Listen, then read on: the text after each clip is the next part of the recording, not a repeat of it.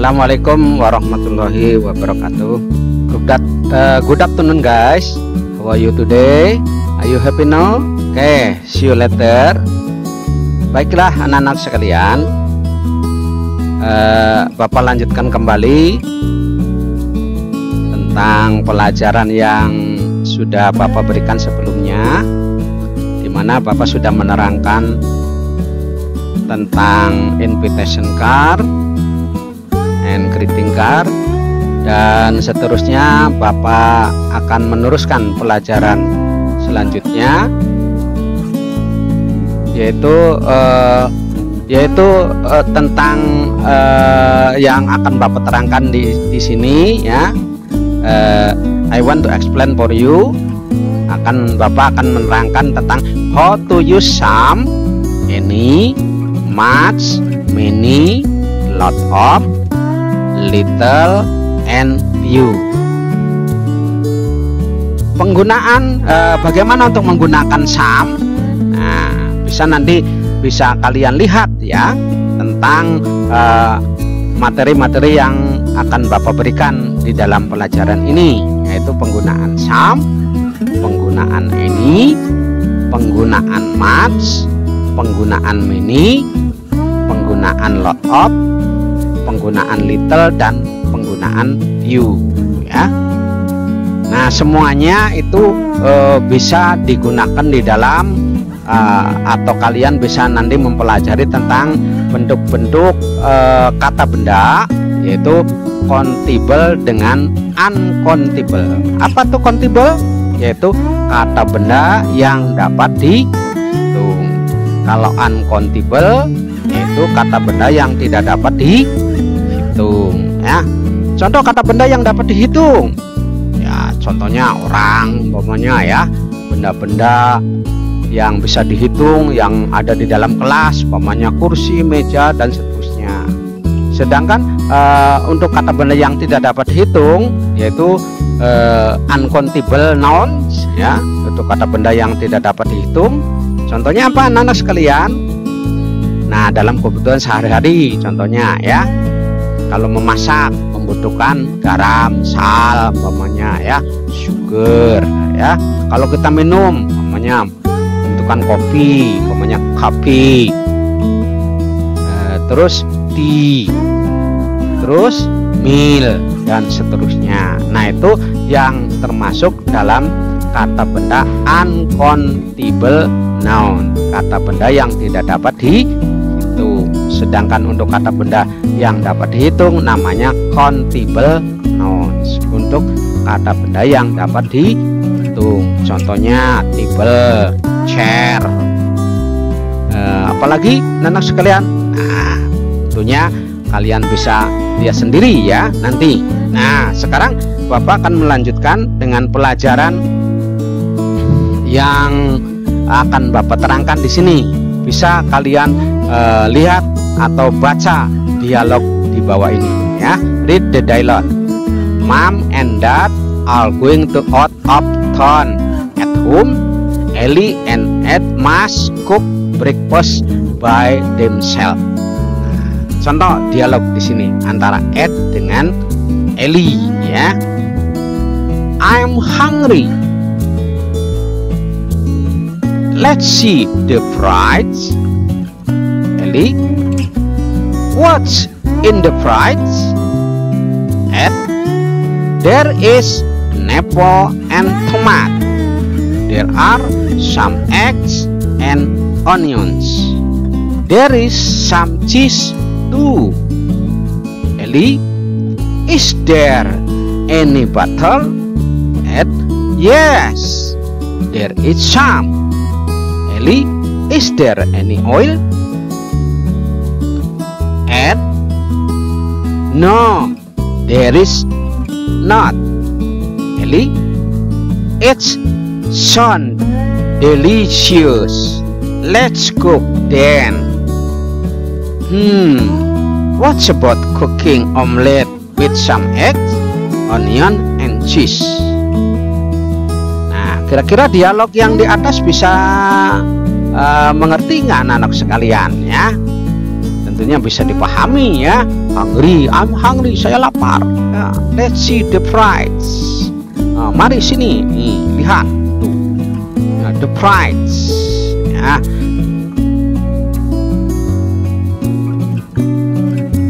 There is an apple and tomat. Nah kamu siapkan tuh ya. Tomat dan bumbunya ya. Untuk uh, membuat uh, suatu makanan yang kalian sukai tentunya ya. Kira-kira membuat apa tuh anak-anak sekalian? Bisa kalian tebak sendiri ya. Dialog yang sudah Bapak sampaikan ya. Tentunya dialog ini di mana uh, kita harus membuat sarapan pagi ya. Nah, dialog seterusnya. Read the dialogue. Lita and Firman are in the zoo. Nah, Lita dan Firman ada di dalam uh, kebun binatang, ya. Lita, Firman, let's see the elephants. Firman. Okay. Look, there are many visitors at the elephant cage. The light to see the elephant up close. Many people try to touch its trunk. It is not a wild animal. Lita, yes, you are right. Firman, I think there are many wild animal at the zoo for the safety or visitor. Wild animal are kept in closed cages. Lita, yeah, there are many warning signs around the zoo, especially around the wild animal. Nah itu oh, dialog tadi menggambarkan apa nana sekalian? Yaitu kita ke kebun binatang melihat gajah, di mana para pengunjung biasanya mendekati kandangnya ya kandang gajah ya di mana kami eh, kita biasanya ingin mencoba untuk menyentuh apa belalainya tuh. Tapi itu tidak boleh ya. Karena gajah adalah termasuk binatang eh, buas juga ya. Kalau kalian eh, mengusik binatang yang dianggapnya berbahaya ya tidak boleh ya untuk mendekati atau oh, dekat-dekat dengan binatang tadi ya. Tentunya ada peringatannya tuh. Mini warning signs. Tuh, ada eh, tanda-tanda uh, peringatan yang ada di sekitar uh, kandang binatang buas ya. Nah dari apa yang uh, kalian sudah lihat ya mengenai tadi yang Bapak sampaikan yaitu tentang uh, selanjutnya bentuk there is and there are ya. Kalau tadi dialognya nah sekarang bentuk penggunaan tentang there is and there are. There is and there are bisa digunakan untuk menyatakan sesuatu, sesuatu orang benda hewan dan lain-lain ya. Bentuk there is digunakan untuk kata benda tunggal singular sedangkan there are untuk benda jamak atau plural. Ya contoh kalimat positifnya ya. There is one table in the classroom. There are three chairs in the classroom. There is some sugar on the table. Contoh untuk kalimat yang negatifnya bisa uh, kalian lihat di bawah ini ya. There is not horse in the field. There are not two elephants in the zoo. Contoh kalimat interrogatifnya Is there horse in the field? Yes, there is. Are there two elephants in the zoo? Nah, bisa dijawab dengan no atau yes ya bisa uh, pelajari itu apa yang sudah Bapak sampaikan tadi ya uh, tentang penggunaan bentuk there is dan bentuk there are. Di mana anak-anak sekalian penggunaan there is adalah untuk apa anak-anak sekalian? Untuk benda yang tung yang tunggal. Sedangkan there are untuk benda yang lebih daripada satu atau bentuk jamak ya. Kalau bentuk dua namanya singular, kalau bentuk jamak namanya plural. Ya. Nah untuk seterusnya anak sekalian yang akan Bapak sampaikan atau Bapak terangkan di sini ya yaitu penggunaan tentang penggunaan some ya. Uh, to explain for you use some and any ya penggunaan some dan penggunaan any. Some and any are used to indicate the quantity of something some is used affirmative sentence. It is replaced with any in negative and interrogative context. Nah, untuk some hanya digunakan dalam bentuk kalimat positif saja ya sedangkan untuk negatif dan interrogatifnya biasanya menggunakan ini. Nah contoh di bawah ini anak sekalian bisa lihat ya example. I have some apples and some milk in the refrigerator. Nah itu penggunaan some ya. Nah sekarang untuk penggunaan ininya. I don't have any orange and any soya milk nah itu penggunaan ini seterusnya can I have some water please? Can I have any some water please? Nah itu harus, ada any-nya ya jadi any digunakan untuk kalimat negatif dan interrogatif sedangkan some hanya untuk kalimat positif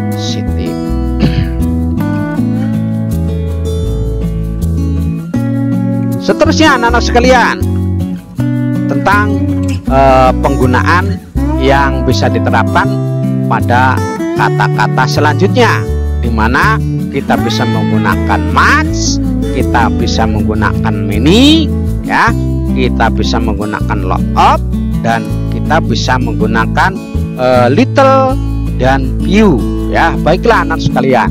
The word in bold are called quantit quantifiers. They are used with nouns to show the amounts of something. Nah, kata-kata yang e, bisa digunakan di dalam menunjukkan jumlah dalam sesuatu benda, kita bisa menggunakan dengan kata much. Ya, kata much hanya digunakan dalam uncountable nouns. Apa anak sekalian uncountable noun? Kalian sudah mengerti kan sebelumnya sudah Bapak sampaikan yaitu untuk kata benda yang tidak dapat di itu. The judgment requires much effort. We doesn't have much time. How much money do you want? Berapa banyak uang yang kamu inginkan? Ya, we use many plural nouns. Nah, sedangkan untuk penggunaan many yaitu untuk kata benda yang dapat dihitung tapi bentuknya ja jamak ya.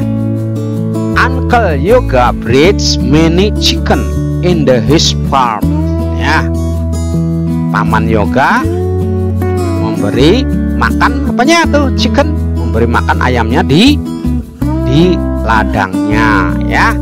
Lia many student at the school Lia knows many student at the school ya.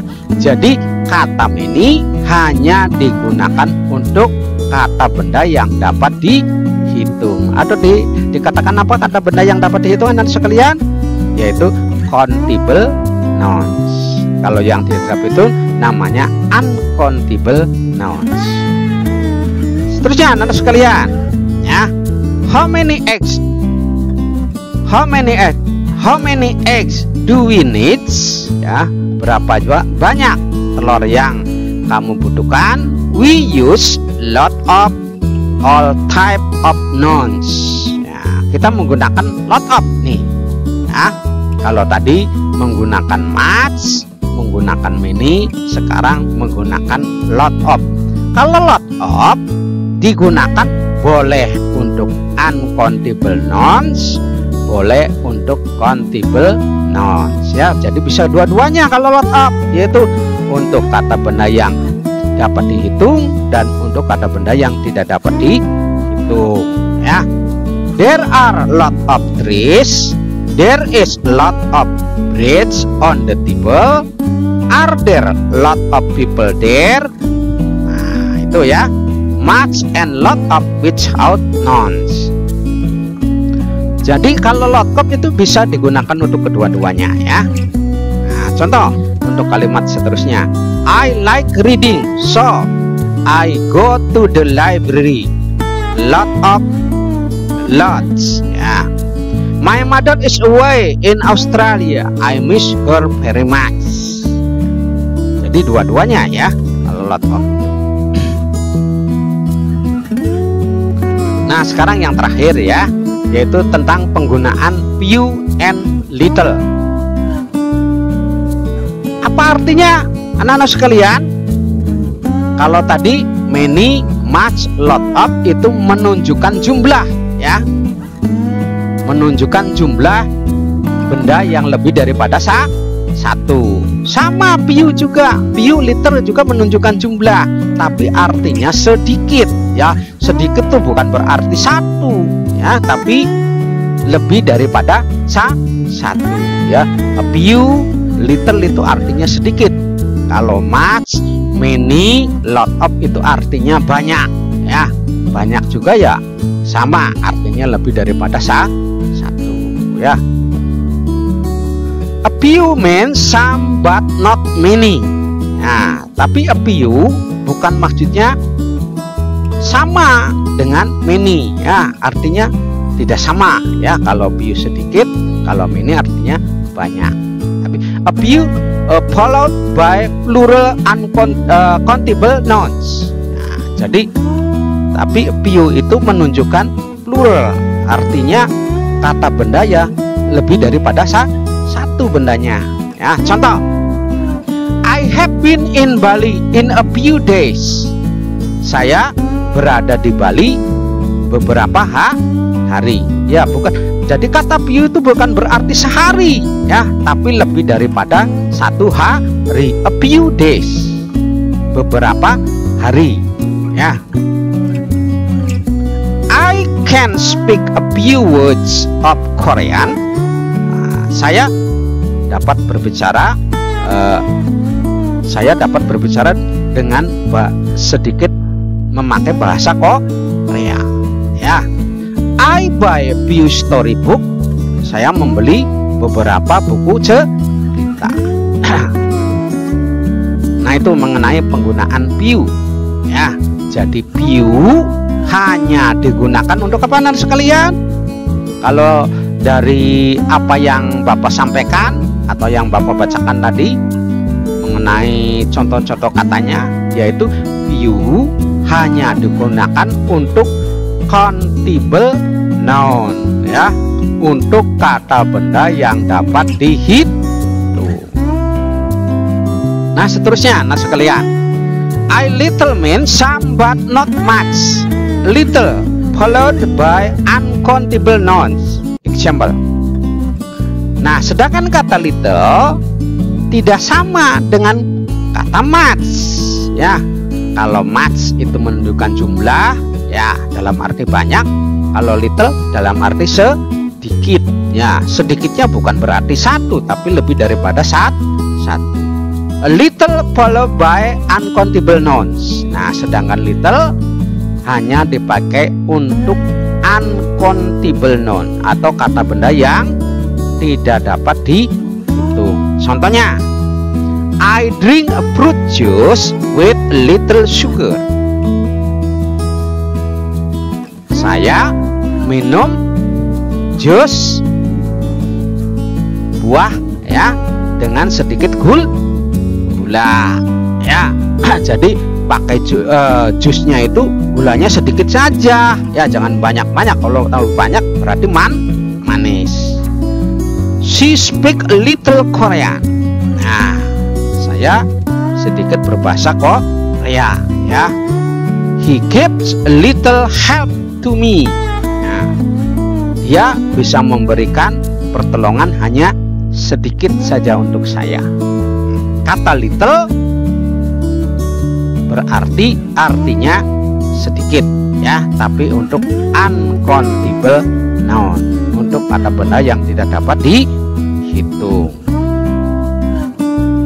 nah itu anak-anak sekalian apa yang sudah Bapak sampaikan mudah-mudahan kalian bisa mengerti apa yang sudah Bapak terangkan tentang eh, penggunaan countable dengan uncountable di mana uh, kita dalam penggunaan uncountable ini menggunakan some ini ya lot of uh, much many a few dan little ya kalian bisa dimengerti bukan ya baiklah kalau uh, kalian sudah mengerti do you understand ya tentunya Yes, I understand.